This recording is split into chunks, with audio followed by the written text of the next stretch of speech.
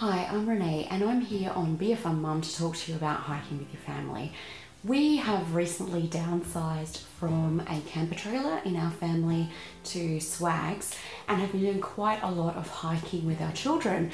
And they've enjoyed themselves so much that we've decided to take it a step further and actually bring them into the world of trail hiking. So they are five and eight, um, so obviously that has a number of um, issues in terms of what they can and can't carry, weight restrictions, all that kind of thing. Um, so what I'm going to show you today is the kit that I've put together for my eight-year-old daughter. Um, with children, you need to be careful about how much weight you are actually giving them. You one, you want them to enjoy themselves, and not hate you for taking them hiking, and secondly, you don't want to create any long-term potential damage um, with just too much weight on their shoulders, back, and, and hips. So let's get started. Um, I've been hiking since I was a teen. Um, haven't been hiking the last couple of years with since my children were small. In my family of four, I'm the only one that has any experience in hiking. So my parents used to take us orienteering. We are involved in Duke of Edinburgh Award. Uh, so we did quite a lot of um, exploration uh, throughout all of southeast Queensland actually. So I'm really excited that my family has decided that this is something that we will do together because uh, I have some very fond memories of um, hiking with my family, my, my parents, my brother and my sister. So um, what's exciting is getting started. So here we go. With my daughter, what we've decided to do is we picked up a 30 litre backpack off Gumtree for around $20. So that's a really good place to start if you don't already have uh, the necessary kit. Obviously you can always borrow friends and family, um, you can look at hiring, hiring gear, but I found Gumtree actually had quite a lot of um, backpacking gear available. So have a look. 30 litres is more than sufficient for an eight year old. She's actually quite tall, so I don't have an, issue that this will be too big for her. Um, I've already um, fitted it on her back and it fits quite well. Um, it's got adjustable shoulders and um, padding for to carry down on her waist so she's not carrying all the weight up on her shoulders and, and upper back. So that's something you want to look for when you're hiking is you want all your weight to actually sit down on your hips and your hips to carry um, most of the weight, whereas your shoulders um, are more about just balancing, balancing that weight.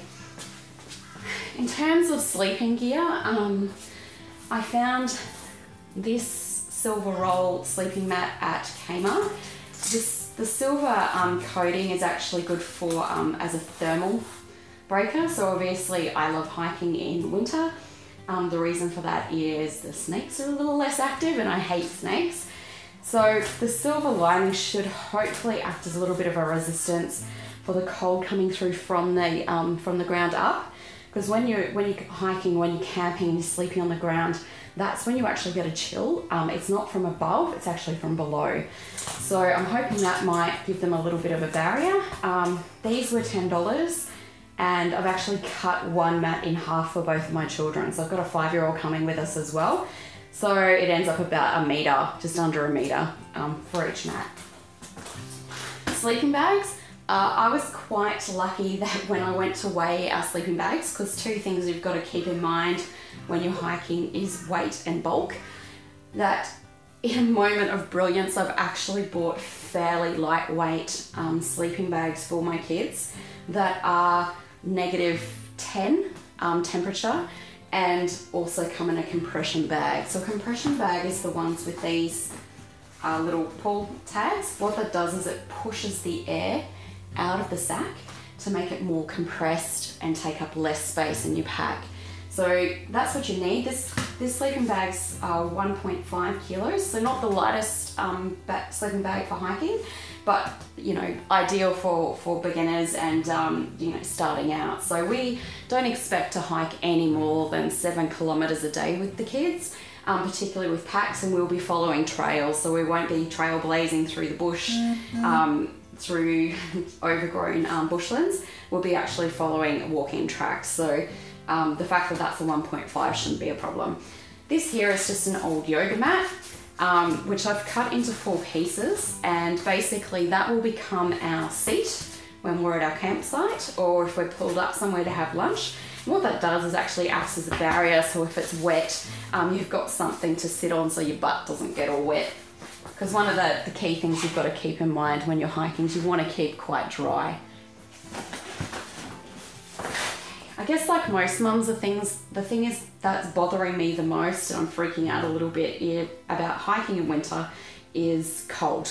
Um, when we we normally camp in winter every year, um, that's not unusual for us. But when we're camping uh, in our camper trailer or in the swags, um, I've got the advantage of having a car which I can pile full of blankets and um, just additional layers of clothing. When you're hiking, obviously, because weight is a concern, um, I'm freaking out a bit about my kids getting cold during the night. So what I've done is um, given my daughter a, a polar fleece, um, a Kathmandu um, polar fleece to keep her warm as her upper layer and I think I actually bought that just secondhand. It was mine, put it in the dryer and it shrunk so now it fits her.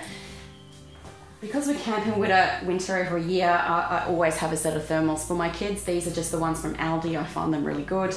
Uh, thermals are fantastic because they're fairly lightweight. They stay close to the skin so they keep the warmth in.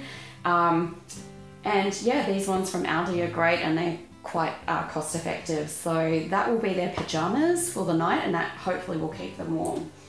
Obviously a pair of undies um, and then we've also got a pair of, these are snow, snow socks, but you want a, a nice pair of warm fluffy socks to put on your feet at night. So um, either snow socks or wool socks or just a nice pair of acrylics. Anything obviously that's got a wool blend in it, it's fantastic because it just keeps your feet um, warm and dry. My daughter has also got, in terms of a waterproof barrier, her snow jacket. So this is her snow jacket that we took um, to the snow last year. Snow jackets are fantastic because they act as a wind and um, waterproof barrier. So yes, it's a bit bulky, it's a bit heavier than other gear on the market, but she's already got it in her wardrobe, so we don't have to um, output any additional expense there. It's also got a hoodie on it, it's got everything she needs. Uh, so at night, when she goes to bed, either if she's cold, she would wear that in her sleeping bag, or I would actually put that down on top of the, um, the sleeping mat to act as an additional barrier to stop that cold air coming through. She's also got her beanie, and this beanie isn't lightweight. Uh, a, a, light fleece would be better, but it's her favourite, and her um, grandma gave it to her, so she really wants to take that with her. In terms of the other items here, this plate is just a lightweight um, hiking plate that was actually what my brothers and sisters and I used to take when we were hiking when we were teens. Um, my parents 20 years plus down the track, still had most of our hiking gear in the back shed, which was pretty amazing. A little bit scary that they've held onto it, but amazing that we could go in there and actually raid and pull out all this gear that we used to take hiking. So, um, look, any, any lightweight plastic bowl would be more than suitable. You don't want to take a plate and a bowl because it just adds additional weight when you're hiking again you want to keep that weight and bulk down. So going for a bowl or this kind of semi bowl plate is fantastic because you can still eat your spaghetti your two minute noodles and your cereal if you're taking cereal all out of the, the one plate. So go for that. In terms of cutlery um, I've just grabbed some old um, toddler cutlery we had in the cupboard still. She gets the pleasure of carrying the toilet paper so we'll be keeping her close when we uh, we need to we need the, to use the bush facilities. I've also put in a pair of thongs. So thongs are great for wearing around the campsite once you've you finish your hike for the day, or if you have to do a wet crossing. So if you need to cross over a creek or something and you're not sure whether the kids might fall in and get their shoes wet, it's a good idea just to get them to take their gear off, put the thongs on, walk across, put their shoes back on. She will also be carrying a walkie-talkie. Uh, those aren't necessary. We just have walkie-talkies because the kids love playing with them when we're um, when we're out in the bush. So we've just got them as a little bit of fun so they can communicate backwards and forwards. She's got sunscreen there, which is 50 plus. Can also clip on the outside of her pack. Uh, she's got her headlamp there because when you're out at um, hiking at night, obviously it's quite dark. So having a headlamp is great because you don't lose your your torch. And then we've just put in her pack um, a lamp for the whole camp, sort of just pulls apart, it's quite lightweight. Um, I don't know if we will continue to carry this in future future hikes and now I won't be able to put it back together. But yeah, we're gonna give it a go for this time. If she was hiking for more than an overnighter, her kit wouldn't actually change that much. Um, the only thing additional she may have in there is more socks and more underwear. Other than that, um, you tend to put the clothes back on that you've worn day by day. I know that sounds disgusting, um, but you're already dirty, you're already wet, you're already sweaty. Um, hiking's not about being a glamour queen. Uh, hiking is about getting out in nature. So by the time you come back, you are rather fragrant. Um, so, you know, maybe don't go straight out into public, come home, have a shower. But that that's her kit. Um, in terms of food and water, uh, my husband and I will be carrying most of the food and most of the water. Both of those things can be quite heavy, food not so much. She will probably carry some of her own little snacks like muesli bars, maybe a bar of chocolate, um, two minute noodles. Those things are all quite light.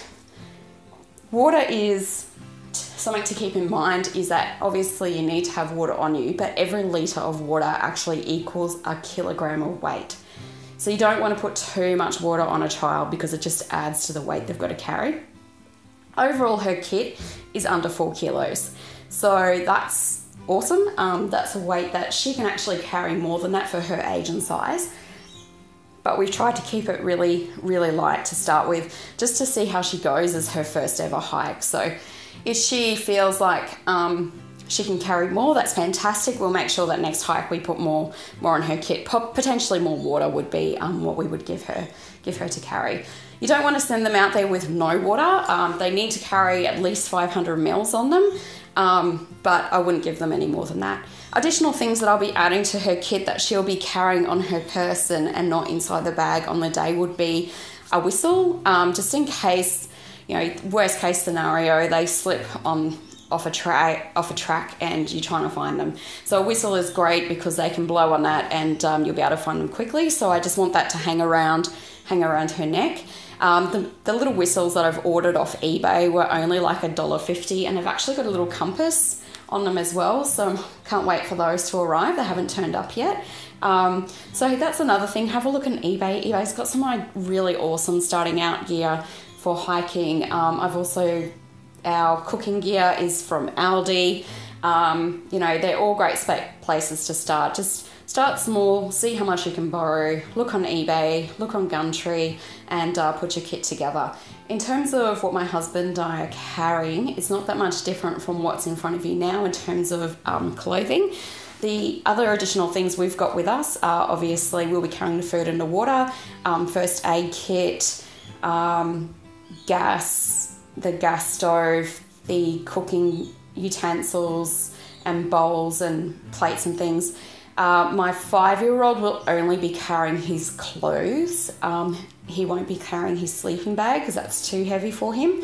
So I've got three, two sleeping bags in my, my pack, and my husband's got the um, tent in his pack because that's really quite heavy. So that's us to get started. Um, hope you've found it helpful and get out into the bush.